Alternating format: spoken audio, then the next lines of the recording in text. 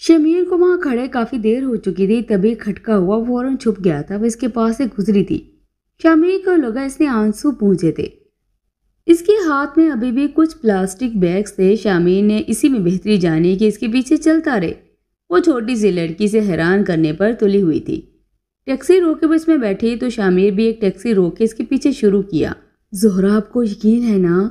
हादिया इस रिश्ते से खुश है। वो मुझे बाहर कभी नज़र नहीं आई। मीर रफीक ने जोहरा से पूछा था, फ़िक्र मत करें। भाभी भी बहुत दफ़ा आई हैं, आपको पता है। भाभी बहुत खुश हैं। वो हादिया को परेशान नहीं होने देंगे। लंदन चली गई तो संभल भी जाएगी। तकिया दुरुस्त करते हुए तमनान से बोली थी, मेरा दिल बहुत उदास है, शाहनवाज। राबिया ने लैपटॉप में मगन शोहर को पुकारा था। क्यों बेगम आपको क्या हुआ है? चश्मा उतारते वो मतवजा हुए थे। हादिया जैसी बच्ची पराई हो जाएगी। शामिर वो बेवकूफ़ी कर रहे हैं, मुझे बार बार लगता है। शामिर करे भी क्या करे? झटपट रिश्ता भी तय कर दिया था, राबिया काफ़ी अफसुदा थी। देखिए राबिया, आप ज़्यादा सोच रही हैं। बच्ची के लिए इतना अच्छा रिश्ता था, बिना किसी वजह के कैसा मना करते वो शामिर और हादिया की उम्र में बहुत फ़र्क है। यही वजह इन मसाइल की, वो इनको समझा रहे थे। कभी दिल करता हादिया से पूछ लूँ, रोक दूँ, फिर सोचती हूँ जोहरा को पता चला तो वो बदगुमान हो जाएगी। वो शोहर से दिल की बातें कर रही थी। बिल्कुल सही कहा। आप मत कुछ कहें। हर चीज़ में इसका साथ दें। शामिर का भी अल्लाह पाक अच्छा सबब बना देंगे। शाहनवाज साहब इनको दिलासे देते हुए बोला था। आमी जोहरा ने सदके दिल से कहा था। नूरिया सो चुकी थी। वो सोचों में गुम थी। शामिर की बातें। इसकी छोड़ी हुई तहरीर। नूरिया की बताई गई बातें। इसे याद तो आती होगी मैं। इसने दिल में खुद से कहा। क्या फ़र्क पड़ता है? वो किसी और के साथ है। अना का बुत सामने आ खड़ा हुआ। मगर नूरिया ने कहा, इसने इजहार किया, मोहब्बत मन मनाई ओह अच्छा जब तुम कमरे में बंद खुदकुशी कर रही थी। हमदर्द है, वो जानती तो हो। अना ने एक और वार किया था, हमदर्दी से इसने मुझे ये अल्फाज कहे। मेरे लिए यही काफ़ी है। इस बार मोहब्बत को भी गुस्सा आया। चलो मान लिया, तुम जब अस्पताल में थी, तब हाँ इस पर कहो ना कुछ। अना ने पुर मज़ा अंदाज में कहा था, मगर वो किसी और का हो जाएगा। किसी और के साथ हंसेगा, बोलेगा तो मेरा क्या होगा? मोहब्बत अब अना के सामने गिड़गड़ाने पर मजबूर हो रही थी। तो अब कौन सा वो तुम्हारे साथ हंसता है? याद करो आखिरी बार कब हंसा था। बोलो, खुद को गलत फहमियों से निकालो। अना बहुत बेरहम थी।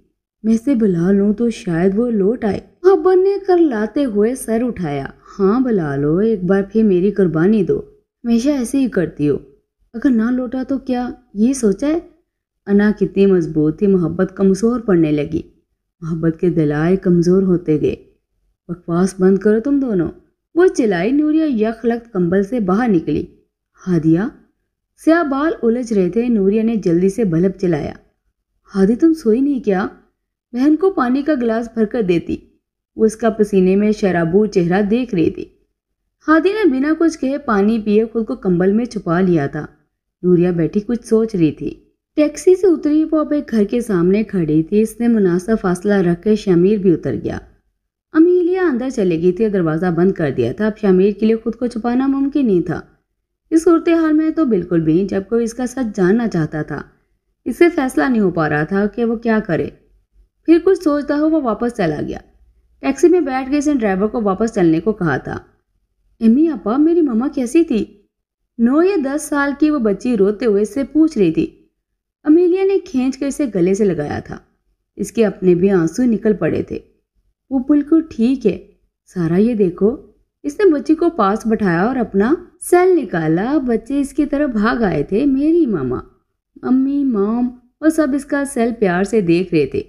जैक, आपको क्या हुआ? वो बच्चा मुँह फैलाकर दूर बैठा था। अपा मेरी मामा भी नहीं है। इसने मुँह बसोरा।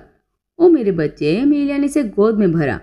मैं हूँ ना आपके साथ, आपकी एमी आपा। वो बच्चे कुछ इसकी गर्दन से लिपटे थे, कुछ गालों को चूम रहे थे, कुछ पास बैठे थे। कैथरीन मुस्कुराते हुए किचन में चली गई थी। एमी आपा, मुझे भूख लदी है। छोटा मासूम सैम मुँह बसूरते हुए इसकी गोद में चढ़ा था। वो बहुत छोटा था, इसे परवाह नहीं थी। वो फ़ोन पर क्या देख रहे हैं? एमी अपा मेरी चोतलेट सूफी में गोल गप्पे जैसे मुँह फैलाती, इसकी टांगों को चिपटी थी। मिलिया ज़ोर से हंसती थी। मेरे बच्चे सब्र तो करो, सब कुछ लाई हूँ पहले खाना खाओ और बाकी अब तुम लोग अपने अपने स्कूल बैग्स ले आओ। जरा मैं भी देखूँ क्या कारनामे से अंजाम दे रहे हो। वो बच्चों को कह रही थी, लिया, तुम और यहाँ? लीना को इसे देखकर हैरत हुई थी। हाँ मैं, क्या आपको मुझे अंदर आने की इजाज़त देंगी?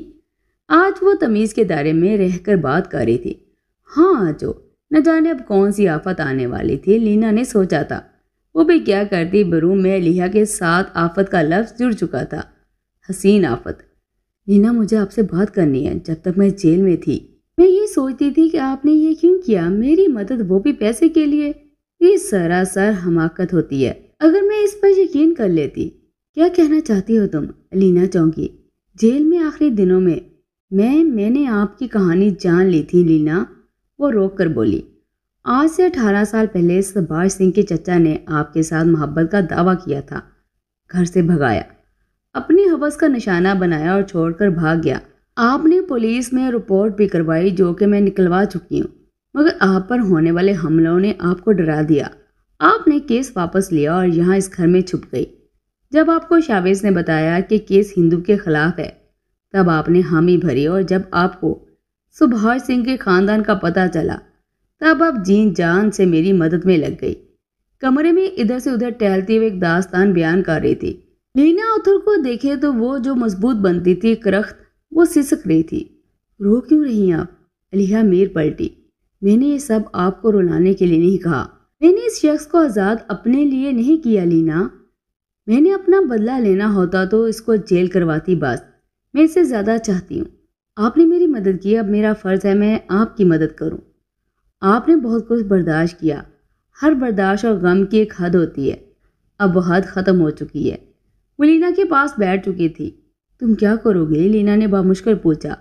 वो मुझ पर छोड़ दे। इस माशरे में मेरे अलावा किसी को पता नहीं चलेगा आपके साथ क्या हुआ। ये बात बस मैं जानती हूँ। मैंने मालूम जिस इंसान से निकलवाई थी, वो बरूम से जा चुकी है।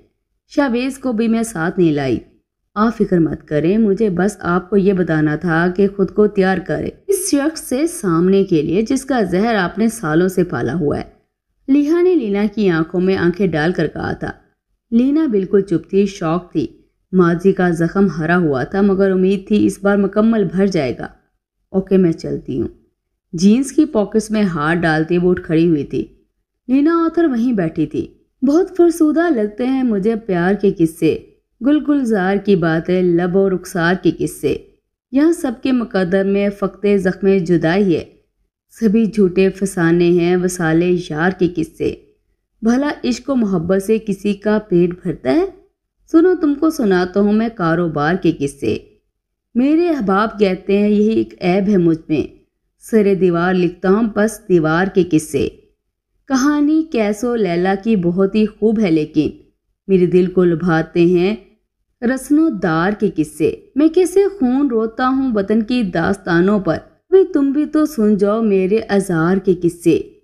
अक्सर मैं लोगों से इसी कारण नहीं मिलता। वही बेकार की बातें, वही बेकार के किस्से। और शामी ने सोच लिया था, आज का दिन अमीला डिसूजा के नाम, वो सुबह घर से निकली। पहले एक कॉफ़ी शॉप पर गई। वहाँ इसने कॉफ़ी पी, फिर काम पर लग गई। शामिर जानता था वो बहुत काम करती है। पहले वो सोचता था वो इतना काम क्यों करती है? अब किसी हद तक वो जान चुका था, इसके पीछे एक ज़िम्मेदारी थी, जिसे वो निभा रही थी। वो हाँ सीधा इसके घर गया, जहाँ लिहा जाकर गायब हुई थी। गाड़ी एक तरफ़ रोक दी थी, वो हुलिये से हमेशा की तरह शानदार लग रहा था। न जाने क्यों कौन सा राज खुलने जा रहा था।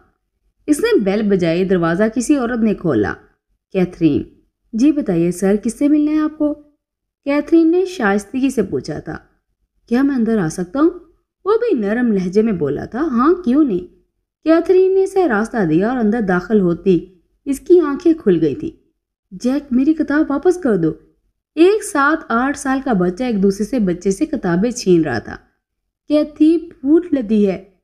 गोल मटोजा जो सैम था, एक और बच्चा शमीर को देखकर नज़रअंदाज कर गया था। आप कौन है, अंकल? एक प्यारी, स्याह फाम बच्ची इसकी टांग पकड़ कर बोली थी। शामीर ने देखा वो आठ या नौ बच्चे थे। स्कूल बैग्स पहने साफ़ सुथरे से तैयार वो चार बच्चे थे। वो इसके करीब खड़े थे, जबकि दो सामने सोफे पर लेटे टीवी देख रहे थे। ये कौन है? कुछ बच्चों ने इसे देख लिया था। सॉरी सर, इनके स्कूल का वक्त है तो इसलिए आप बैठे मैं आती हूँ अभी। वो बच्चों को लेकर बाहर निकली थी। देखो सबने एक साथ बाहर नहीं निकला, हमेशा की तरह। याद है ना? वो इनको हदायत दे रही थी। याद है के थी? जैक ने सर हिलाया, शाबाश जैक, अब जाओ। सारा तुम सबका ख्याल रखना, इनको भेज कर वापस पलटी थी शामिर का दिमाग चकराने वाला था। ये सब क्या था वो समझ नहीं पाया। कहती बच्चों को खाना देकर इनको टीवी के आगे बैठाकर वापस शामिर के पास आई थी। सर, हम यहाँ किसी को आने की इजाज़त नहीं देते। आप शक्ल से एशियाई लगे थे, वो खामोश हो गई। आपको लगा मैं अमीलिया से मिलने आया हूँ। शामिर ने बात पूरी की थी। कहती की आँखें चमकी। आप कहाँ से आए? एक तो शानदार सा लड़का ऊपर से मिलिया को जानता था। कैथरीन को खुशी हुई। मैं यहाँ ही से हूँ और वो दोस्त है मेरी। एक दफ़ा इसे यहाँ ड्रॉप किया था, आज सोचा यहीं आकर मिल लूँ। मगर मैं शायद लेट हो गया। शमीर ने बात बनाई। कैथरीन इसे हैरत से देखा। अमीलिया इसे यहाँ कैसे ला सकती थी? मैं इससे बाहर ही मिल लेता हूँ, वो उठकर खड़ा हुआ। कैथरीन इसे हैरत से देख रही थी। शामिर को पता था। वो इसे कुछ नहीं बताएगी, इसलिए अब इसे अमीलिया ही से पूछना था, ये सब क्या था? वो पागल होने को आया था, वो कॉफ़ी शॉप पर पहुँचा तो वो लोगों को कॉफ़ी पेश कर रही थी। अमीलिया मुझे तुमसे बात करनी है, चलो। इसका हाथ पकड़ के इसे हक्का बक्का करता वो साथ ले आया था। क्या हुआ शमीर तू मेरे से क्या पूछना चाहता है? वो वैसे ही लहजे में बोली थी, बस कर दो मिलिया बस। बताओ कौन हो तुम? हाँ बताओ। गाड़ी के पास खड़े वो दोनों आमने सामने थे। अमीलिया का चेहरा जर्द पड़ा। क्या मतलब है तेरा? अमीलिया घबरा गई थी। अच्छा चलो मैं ही बता देता हूँ। मिस एमीलिया, मैं कल से आपका पीछा कर रहा हूँ। वो औरतें, वो बच्चे, वो सब क्या है? बोलो। शामिर से अब सबर नहीं हो रहा था। अमीलिया ने सर पकड़ा। मुझे बताओ, वरना मैं भी तुम्हें पुलिस के हवाले कर दूँगा। वो बहुत इतमान से बोला था। हाँ हाँ शौक से रोका किसने? करो पुलिस के हवाले। मगर इससे पहले चलो मेरी भी सुन लो, इससे कार की चाबी छीनी, वो साफ़ उर्दू बोल रही थी। शामिर ने पहली दफ़ा इसे गुस्से में देखा था। शामिर अब बैठोगे या खड़े रहोगे? इसे वैसे ही खड़ा देखकर वो दोबारा बोली। शामिर इसके साथ बैठ गया था। कार भगाती बनी रास्तों पर कामजन थी। इस जगह से कुछ दूर अमीलिया ने कार रोक दी थी। शामिर खामोशी से इसके पीछे चल पड़ा था। ये देखो, ये औरतें, ये मैडम लूसी हैं। इनको एक एशियाई से मोहब्बत हो गई थी। इसे इनका अच्छे से इस्तेमाल किया और छोड़कर चला गया। इस गम में इसका दिमागी हालत ख़राब हुई, मगर इतनी भी नहीं कि इनको पागल खाने भेज कर पूरा पागल कर दिया जाए। मैं इनको वहाँ से ले आई। वो एक सफ़ेद फार्म औरत की तरफ़ इशारा करके बोली जो कि मगन से कुछ सोच रही थी। ये मारथा है। इनका शोहर इनको मारता पीटता था बस। इसी वजह से इसकी ये हालत हुई, ये नाइमाए। ये मुसलमान है, इनको एक अंग्रेज़ से मोहब्बत हुई। शादी हुई, बच्चे हुए, मगर क्या इस मर्द को किसी और से मोहब्बत हो गई, वो इनको छोड़कर भाग गया। वो बोलती जा रही थी। शामिर सुन रहा था।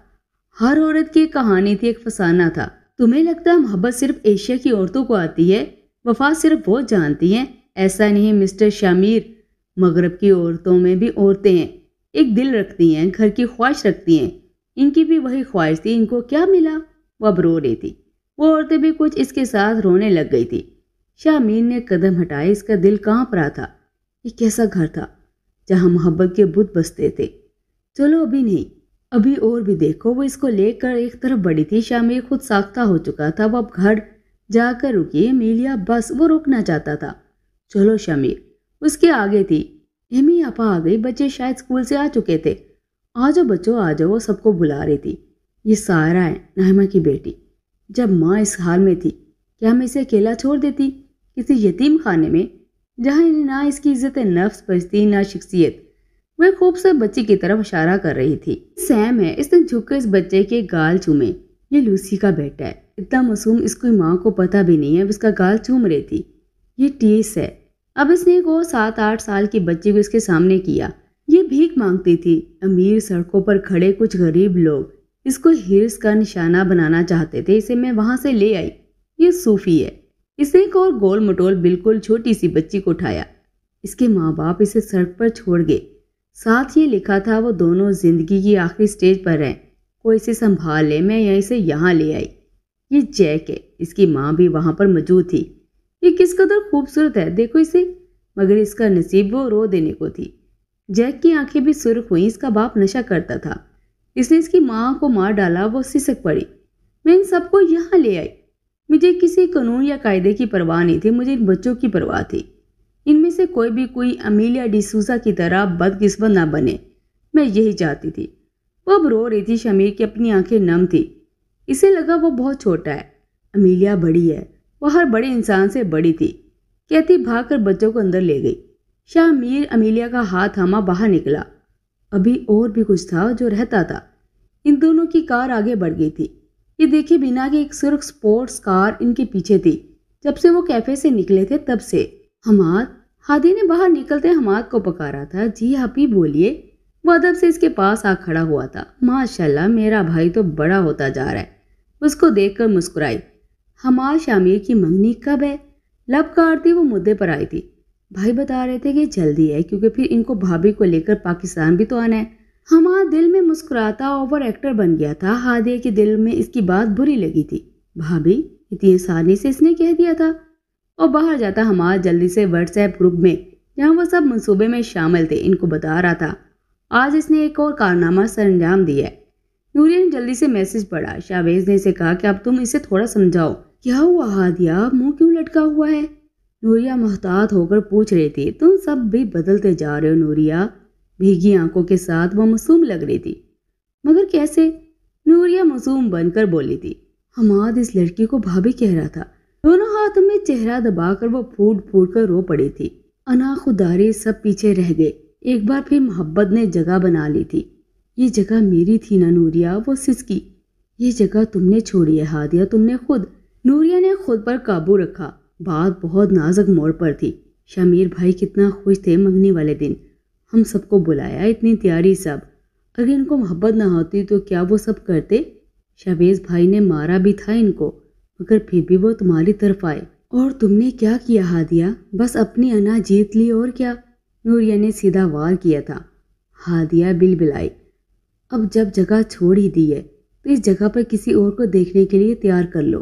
पानी का गिलास इसे पकड़ाते नूरिया ने इसे कुन अखियों से देखा। हादिया किसी सोच में गुम थी आँसू आँखों से खुश्क हो रहे थे। तुम कौन हो अमीलिया? खुद को क्यों छुपाया? शामिर अमीलिया को एक पुरस्कून जगह ले आया था। अमीलिया ने शामिर का चेहरा देखा। अपनी माँ के बाद ये वो वह शख्स था, जिसे अमीलिया ने टूट के मोहब्बत की थी। खामोश मोहब्बत। अमीलिया ने कुछ सोचा फिर बात शुरू कर दी। मेरी माँ का ताल्लुक लंदन से था। वो स्पेन में जॉब करती थी। इनको मर्दों पर कम भरोसा था, बहुत कम। वो बेहद हसीन थी। शामिर बेहद। और एक दिन बाज़ार में इनको एक शख्स मिला। अमीलिया के लहजे में तलखी घुली। वो इस पर मर मिटी थी। दोनों साथ घूमते फिरते वक्त गुजारा। ये सोचे बिना कि वो पहले से शादीशुदा था। वो इस शख्स को अपने घर ले आई थी।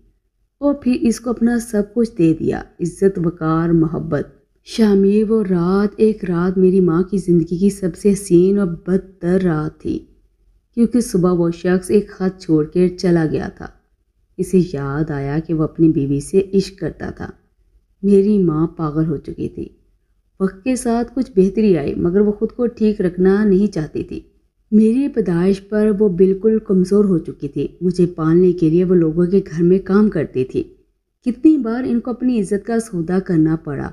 शामिर कितनी बार? मैं जब नौ साल की हुई, वो मर गई। चुपचाप एक रात सोई और सुबह बिस्तर पर लाश थी। अमीलिया के आँसू इसका चेहरा भुगो रहे थे। खुश्क आँखें शामिर की भी नहीं थी। यतीम खाने से लेकर लोगों के जूते पॉलिश करने तक का सफ़र, दिन रात काम करने का सफ़र बहुत मुश्किल था। मैं चौदह साल की हुई तो मैं यहाँ ऑस्ट्रेलिया आ गई। मैंने तुमसे झूठ बोला था।